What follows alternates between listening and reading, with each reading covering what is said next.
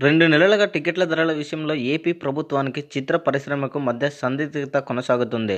Tickets ధరలు తగ్గిస్తూ ఆంధ్రప్రదేశ్ ప్రభుత్వం జీవో నంబర్ థర్టీ ఫైవ్ జారీ చేసింది. దీనిపై చిత్ర పరిశ్రమ పేదల నుండి తీవ్ర వ్యతిరేకత వ్యక్తమైంది. ఇంత తక్కువ రేట్లతో సినిమా మనుగడ సాధించలేదని ముఖ్యంగా పెద్ద చిత్రాల వసూళ్ళపై ఈ నిర్ణయం ప్రతికూలత ప్రభావం చూపుతుందని సినీ పెద్దలు వాదిస్తున్నారు. ఈ క్రమంలోనే బడా నిర్మాతల ఊరట కలిగిస్తూ ఏపీ హైకోర్టు సినిమా టికెట్స్ ధరలు తగ్గిస్తూ జారీ చేసిన జీవో నంబర్ ముప్పై ఐదును రద్దు చేయడం జరిగింది. గతంలో ఉన్న టికెట్ల ధరను కొనసాగించాలని ఆదేశించడంతో పాటు ధరలు పెంచినా విక్రయించే వెలుసుబాటును కూడా కల్పించింది. హైకోర్టు తీర్పుపై హీరో నందమూరి బాలకృష్ణ స్పందించారు. కోర్టు తీర్పు రాకుండానే అఖండ చిత్రాన్ని విడుదల చేశాం. మేము అన్నిటికీ సిద్ధపడే అఖండ విషయంలో ముందుకు వెళ్ళాం. ఏపీ హైకోర్టు టికెట్స్ ధరలను తగ్గిస్తూ చేసిన జీవో రద్దు చేసింది. ఇది శుభపరిమాణం అయితే ప్రభుత్వం అప్పీలుకు వెళతానంటోంది ఏం జరుగుతుందో చూడాలి. అఖండ ఘన విజయం సాధించింది. హిందూ ధర్మ ఔన్నత్వాన్ని అఖండ మూవీలో చూపించాము.